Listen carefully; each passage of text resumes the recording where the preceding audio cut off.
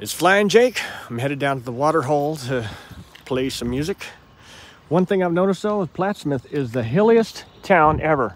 Uh, 8th Street coming up from right down there. There's A Avenue. It cuts into 8th Street.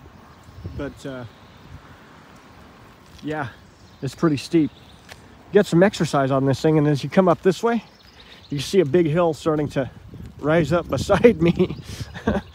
this street, uh, hardly no cars go on. Well, I can only imagine. Look at the grade of this. I mean, that's a, bet coming down this sucker would be like going down on a roller coaster track.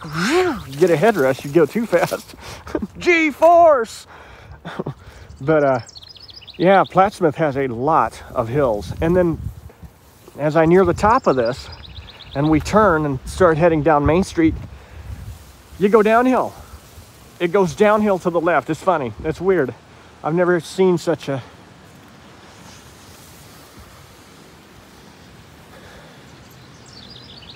Oh, listen to that wind blowing through the trees.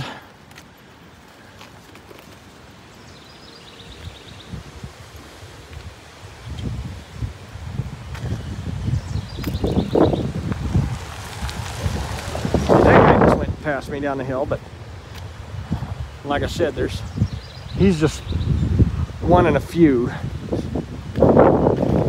This is Main Street right up here. Set this down for a minute so I can turn this off, but just to kind of show you, Plattsmouth is a very hilly town. Very windy too.